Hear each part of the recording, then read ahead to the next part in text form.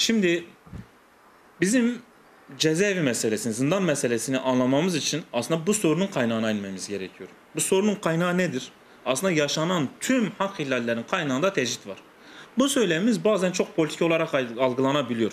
Hani bu politik algılamalar, bu gündemdeki tartışmalar, bütün siyasi süreçler özellikle geçmiş dönemde geçirdiğimiz çözüm sürecinden bağımsız bir şekilde aslında tecritin ne olduğunu bir tartışmamız gerekiyor. Tecrit nedir?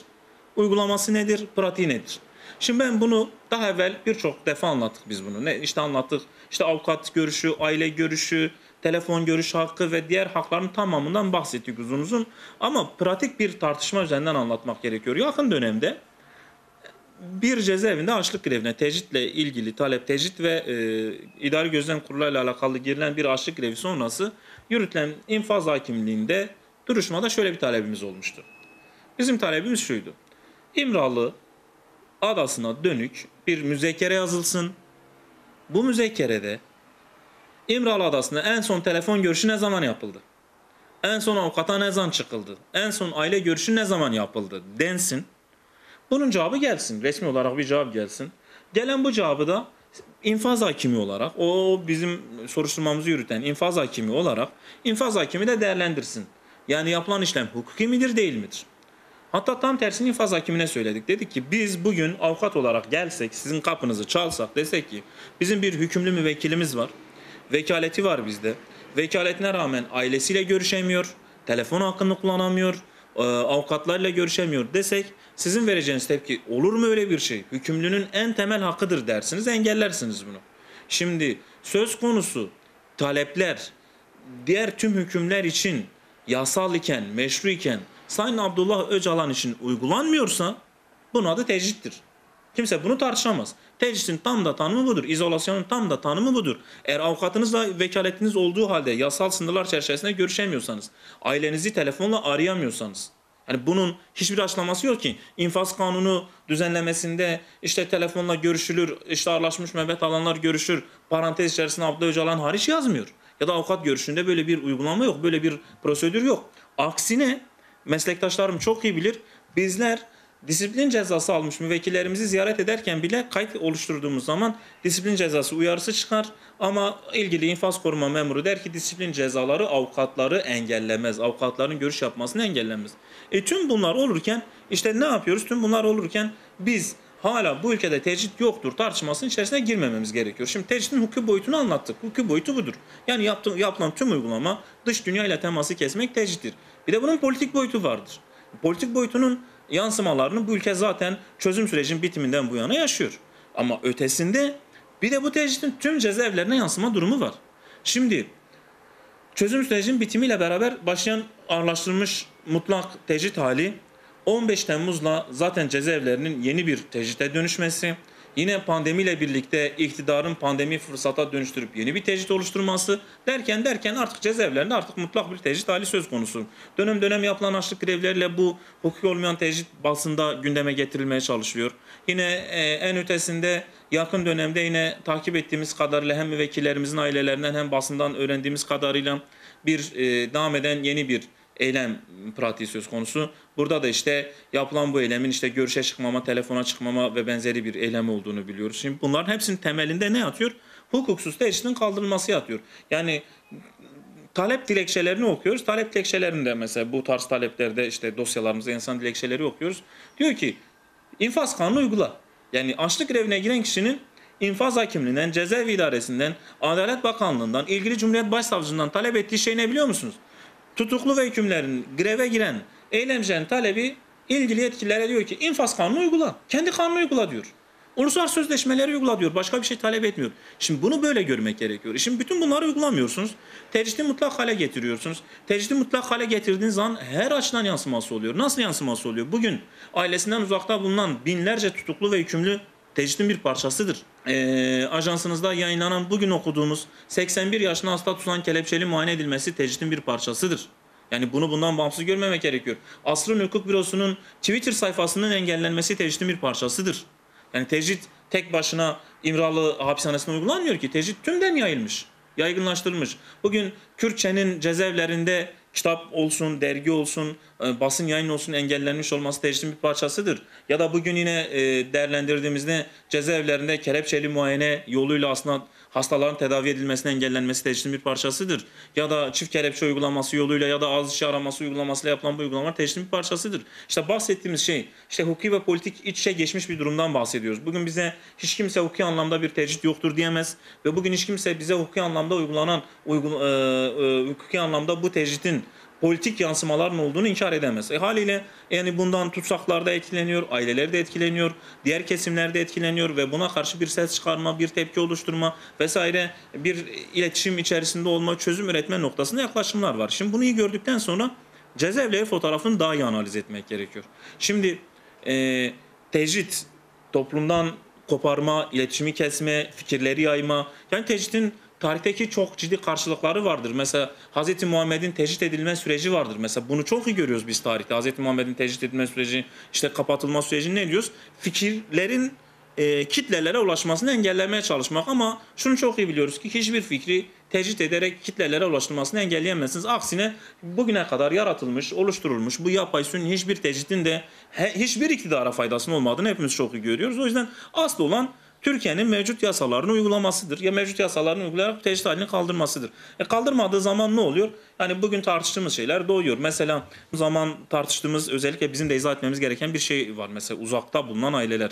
Mesela ailesinden uzakta bulunan tutuklu ve bahsediyoruz. Mesela bu teşhirin en önemli parçalarından biridir. Bugün Sayın Abla Öcalan İmralı hapishanesindedir. Tek başına bir adadadır. Ama e, ötesinde Tekirdağ'da, Edirne'de, İzmir'de, Antalya'da binlerce tutsaktan bahsediyoruz biz. Şimdi bu da tecritin bir parçasıdır. Burada yapılmaya çalışılan şey hem toplumdan izole etmek hem de aileden izole etme politikasıdır. Bunları da iyi görebilmek gerekiyor. Bunları görmezsek tecrit tam anlamda anlamamız mümkün değildir. Ya da işte diyelim ki bir tutuklu sürgün oluyor. Tekirdağ ya da Edirne'ye ya da farklı uzak bir yere Gittiği yerde çıplak aramayla karşı karşıya kalıyor. Çıplak aramaya karşı gösterdiği direnç neticesinde aile görüş yasağı ve iletişim cezası alıyor.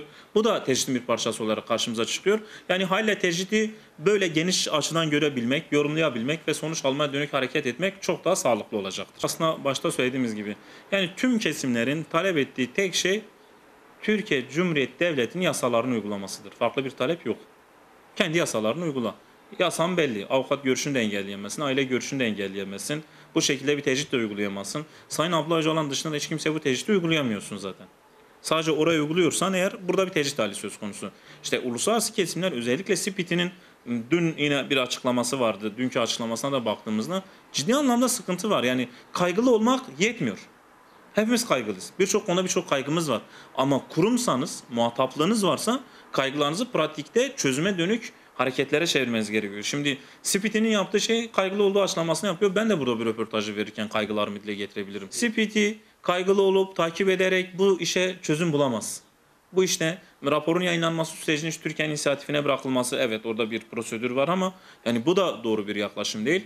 Yani Spiti'nin özellikle en son yaptığı ziyarette Türkiye'ye yaptığı ziyarette İmralı Adası'nı ziyaret etmemesi ayrı bir sorundur. Yani Spiti'nin Avrupa İnsan Hakları Mahkemesi'nin ve diğer uluslararası kurumların da buna yaklaşımını iyi okumak gerekiyor. Şimdi niçin tecrit var sorusunu anlamak gerekiyor. Yani çünkü tecritin olmadığı döneme gitmek gerekiyor. Aslında 2013-2015 yılları arasında tecritin olmadığı dönemde neyi görüyoruz? Türkiye'de bir çözüm sürecini görüyoruz. Neyi görüyoruz? Türkiye'de aslında daha çok hak ve özgürlüklerin, demokrasinin, insan haklarının tartışıldığı bir dönemi görüyoruz. Şu an neyi görüyoruz? Şu anda gerçekten e, özgürlükçü yaklaşımın tamamen ortadan kaldırıldığını, baskıcı bir dönemin olduğunu, insanların ifade özgürlüğünü rahatça kullanamadığı, her söyleminizin, her yaptığınız paylaşımın, her cümlenizin size bir soruşturma olarak geri döndüğünü ve her an için herkesin toplumun her kesiminin sürekli tutuklanma riski adı altında olduğu, yine itirafçı adı altında iftiracı tanıklarla herkesin tehdit altında olduğu bir dönemden bahsediyoruz. Aslında belki de tecrit bu dönemin tümden e, yok olacağının habercisi olacağı için tecritle, engel, e, tecritle bu süreçler engelleniyor.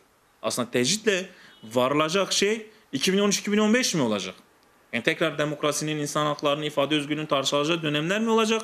Yoksa 2016'dan sonra özellikle tartışılan bu ifade özgürlüğünün tümden rafa kaldırıldığı baskıcı bir dönemin olup olmadığı mı tartışılacak? Şimdi bunu biz söylüyoruz ya aslında bunu biz yalnız söylemiyoruz. Adalet Bakanı da bunu söylüyor. İşte çeşitli tartışmalarla, yeni yargı reformlarıyla, şunlarla, bunlarla bir şeyler düzelteceğiz diyor. Ama yani düşüncede bir şeyler yapma peşindeler. Çünkü gerçekten Kendileri de aslında bu baskıcı sistemin farkında. Ama masaya oturduklarında, bir şey düzenleme yaptıklarında yani e, Kürtler nasıl bu işten faydalanamaz? E, işte mücadele eden kesimler, muhalif kesimler nasıl bu yasal düzenlemelerden faydalanamaz tartışmasına giriyorlar. Sonuç olarak bakıyoruz. Yani bunu hep söyledim. 2020'de pandemide dünya affı tartışırken, cezaevlerinde affı tartışırken Türkiye düzenlediği infaz düzenlemesinde siyasi tutsaklara infaz kurulunu çıkardı. Yani yaklaşım, bakış açısı, çözümler, çözümleme yeteneği çok önemli burada. Siz bugün bakıyorsunuz Sincan'da, Karabük'te, Urfa'da birçok cezaevinde yüzlerce tutsak idari gözlem kurullarına takılıyor. Yani siz bu idare ve gözlem kurullarının teşhisin bir parçası olmadığını değerlendiriyorsanız burada eksiklik yaşıyorsunuz. Bu şekilde görmek daha doğru olur diye düşünüyorum. Şöyle değerlendirmek gerekiyor. Aslında devletleri anlayabilmek, devletlerin hukukunu anlayabilmek gerekiyor. Zaten devletlerin varlık amacı mevcut uygulamada yani bizlere şu anda demokrasinin beşi, insan haklarının beşi, işte Avrupa devletlerinde ifade özgürlüğü vesaire var dedikleri çerçeveyi gördüğümüz zaman bugün İsviçre, Almanya ve benzeri örnekleri tartıştığımız zaman aslında burada inşa edilen e, insan hakları, burada inşa edilen ifade özgürlüğü ve benzeri haklar, özgürlükler yine devletler nezdinde oluşturulmuş haklardır. Zaten bizlerin devlet ve devlet olgusuna yaklaşım ortada. Yani bunun felsefi ve politik tartışmasını ayrıca uzun uzun yapabiliriz. Hani bu temelde devlet kavramı üzerinden tartıştığımız zaman aslında devletlerin uluslararası alanda hukuku çok da tırnak içerisinde söylüyorum takmadığını göreceğiz. Hukuku ancak kendi iç ilişkilerinde, kendi iç demokrasilerinde önemseyen bu devletler bugün 3. Dünya Savaşı'nın devam ettiği Orta Doğu coğrafyasında hiçbir şekilde hukuku önemsemezler. Hiçbir şekilde hukukun e, en küçük kırıntısını bile dikkate almazlar. Devam eden e, bu süreçte yaşanan savaş hukukuna aykırı birçok yöntemin uygulandığını gördüğü halde buna müdahale etmezler. Tecrit de bunun bir parçasıdır. Tecrit bunun nasıl bir parçasıdır? Evet. Tecrit kendi iç hukuklarında yanlıştır. Yeri yoktur. Uluslararası hukukta da yeri yoktur. Ama tecrit uluslararası ilişkilerde Türkiye ve Avrupa'daki diğer devletlerin ilişkilerinde bir koz olarak hep masadadır. Bu böyle olduğu için aslında devletleri iyi okuyabilmek gerekiyor. Devletlerin yaklaşımı budur. Hani aslında bahsettiğimiz devletlerden çok da anlamlı bir sonuç beklemek aslında çok sağlıklı olmayacaktır. Yapılacak şey nedir? Yani özellikle kurumları bağımsız bir şekilde hareket ettirebilmeye çalışmaktadır, çalışmaktır ve bu durumu teşhir edebildiğimiz kadar teşhir edebilmektir. Durumun teşhiri bu dediğimiz devletlere geri adım attırabilecektir. Belki de uluslararası hukukun uygulanmasını sağlayacaktır. Yani hiçbir devlet, hiçbir devlet demokratik bir hakkı, özgürlük içeren bir hakkı doğrudan teslim etmez. Teslim etmek için bu devletlere demokratik hakları, özgürlük içeren hakları, ifade özgürlüğü içeren bu hakları hatırlatmak, hatırlamalar için demokratik hakları kullanmak gerekiyor. Başka şekilde bu iş yürümeyecektir. Çünkü evet bir yandan tecrit ve diğer suçlar söz konusu iken öte yandan da e, devletlerin kendi ilişkileri söz konusu, çıkar ilişkileri söz konusu, devam eden e, ticari ilişkileri söz konusu. Yani belki de bu röportajımızın konusu değil ama bu seçime mal oldu bu çıkar ilişkileri iktidar açısından yani bir İsrail sürecinden bahsediyoruz. İktidar seçimden sonra geçen bir aylık süreçte hala bir ticaret var mı yok mu tartışmasının içerisine girdi. Oysa biz bunu az önce belirttiğimiz gibi Avrupa'nın Türkiye yaklaşımıyla Türkiye'nin İsrail'e yaklaşımı üzerinden değerlendirebiliriz. Yani evet hmm, teoride Filistin mazlum bir halktır ama pratikte ticaret devam ediyor. Bu şekilde görebilmek gerekiyor. Teoride Avrupa'da sınırsız özgürlükler tartışılabilir ama pratikte mutlak tecrit devam ediyor. Burada aslında umut hakkı kapsamında bizim daha evvel yaptığımız çok geniş kapsamlı çağrılar söz konusuydu. Biz umut hakkı kapsamında gerek Sayın Abdullah Öcalan gerekse de e, bu uzun süreli hükümlü olan tutsaklar açısından değerlendirmemizi yapmıştık. Aslında bu aşamadan sonra uluslararası hukuku, Avrupa İnsan Hakları Mahkemesi'nin umut hakkı yaklaşımını, Avrupa İnsan Hakları Sözleşmesi, diğer üst sözleşmeleri ve e, uluslararası antlaşmaları dikkate aldığımızda aslında dediğiniz gibi evet bu dakikadan sonra tartışılacak şey bu tecridi tartışmamak. Aslında umut hakkı kapsamında farklı şeyleri tartışmak gerekirken biz hala tecrit tartışıyoruz. Haliyle bu yetersiz bir durumdur. Yani şunu iyi görebilmek gerekiyor. Bunu daha önce birçok e, açıklamamızda da yinelemiştik. Yani Türkiye'de bugün herkes bir yargı tehdidi altındadır. Herkes tutuklanabilir. Herkes tutuklanabilir. Bunu iyi görebilmek gerekiyor. Bugün e, özellikle muhalif olduğunu belirten, özellikle muhalif olduğunu belirten tüm kesimlerin hani gerek bu tecrit olsun, gerek cezaevlerinde geçmişten bugüne gelen hak ihlalleri olsun, gerekse de özellikle e, hak ihlalleri çerçevesinde e, diğer bir mağdur olan, asıl mağdur olan kesimlerden biri olan tutsak aileleri etrafında kenetlenmesi gerekiyor. Yani unutulmamalıdır ki yani bu röportaj içeriğinden de anlaşılacağı üzere yani hiçbir talep gayri hukuki değildir. Hiçbir talep gayrimeşru değildir. Yani düşünün tutsakların dilekçelerinde yasanı uygula dediği bir dilekçe, bir eylem tarzından bahsediyoruz. Düşünsenize idare, idareden talebi infaz kanunu uyguladır. Yani böyle bir çerçevede e, yaklaşılacak tek konunun aslında belli bir şekilde hukuk zeminine dönmesi ve toplumun özellikle başta tüm muhalif kesimler olmak üzere tüm kesimlerin bu mücadelede demokratik olarak yer alması gerekiyor. Yeni bir anayasa tartışmasına şöyle bakmak gerekiyor. Ülkenin sorunlarını ne görüyorsanız anayasa özleminde hazırlarsınız. Şimdi mevcut iktidar açısından Kürt sorun diye bir sorun yok. Çözdüğünü iddia ediyor, tükettiğini, bitirdiğini iddia ediyor. İşte TRT ve benzeri birkaç Kürtçe yayının olması, yine e, özellikle Kürtçe bilmeyen valilerin, Kürtçe bilmeyen kaymakamların, Kürtçe bilmeyen Kürtlükle uzaktan yakından alakası olmayan kişilerin yerel yönetici olarak bölgelere yollanıp bir merhaba, bir rojbaş demesi üzerinden Kürt sorunu çözdüğünü zanneden bir iktidarın düzenleyeceği yeni anayasada Kürt meselesinin çözümü olamaz. Yine Türklük, Türklük kimliği üzerinden bir anayasa yapılır. Yani bu anayasanın Kürtlere getireceği bir fayda söz konusu değildir. Kürtlere bir fayda sağlamayacak bir anayasadan tecritin çözülmesi meselesini veya da diğer Orta Doğu ve benzeri sorunların çözümü meselesini çok sağlıklı bulmak gerekmiyor. Bir anayasa yapılacaksa zemini bellidir. Yani zemini bellidir. Yani Kürtlerin e, mevcut rolü de bellidir. Ezilmiş diğer kesimler de bellidir. Bu ezilmiş kesimleri geniş çerçevede görebilmek gerekiyor. Yani özellikle kapitalist modernitenin dayattığı bu yaşamda ezilen ciddi bir kitle vardır. Bunları da iyi görebilmek gerekiyor. Eğer siz yeni bir anayasayı kendi sorunlarınızın çözümü için bir anayasa diyorsanız, belli bir kesimin çözümleri için yeni bir anayasa diyorsanız o anayasa maddesi, o anayasaya eklenecek maddeler de onlara dönük olacaktır. Hani hale bu haliyle Kürtlerin muhatap alınmadığı, Kürtlerin önemsenmediği ve Kürt sorunun tırnak içerisinde kendince çözülmüş olduğu değerlendirmelerinde yeni bir anayasanın hiç kimseye faydası olmaz. Tıpkı az önce belirttiğimiz gibi 2020 Nisan düzenlemesi gibi Kürtlerin aleyhine bir anayasa düzenlemesi olur. Yani artık öyle olmuş ki yeni yeni bir düzenlemeden bahsedildiği zaman biz kaygılanıyoruz artık. Çünkü yeni bir düzenleme acaba bizim aleyhimize ne gelebilir tartışması doğuruyor. Yani bu yüzden yani çok sağlıklı görmüyorum.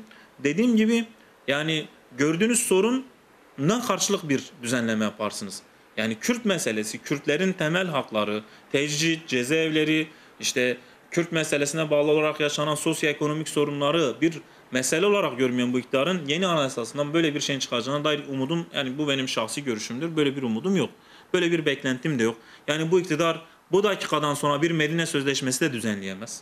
Yani böyle bir pratiği rolü de yok, yaklaşımı da yok. Hala gözaltıların olduğu, hala tutuklamaların olduğu, hala bir dönemdeysek yeni anayasanın hiç kimseye bir faydası olmaz. Muhtemelen yani şahsi görüşümdür. Yeni anayasadan beklentileri e, 2028'deki yeni Cumhurbaşkanlığı seçiminde 50 artı bir uygulamasını kaldırmaya dönük bir düzenlemedir. Yani bu benim şahsi görüşümdür.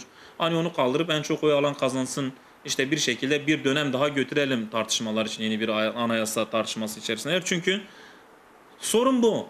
İktidarı devam ettirmek. İktidarı devam ettirmek için yeni anayasa düzenlersiniz. Çünkü iktidarın damına uygun bir anayasa olması gerekiyor.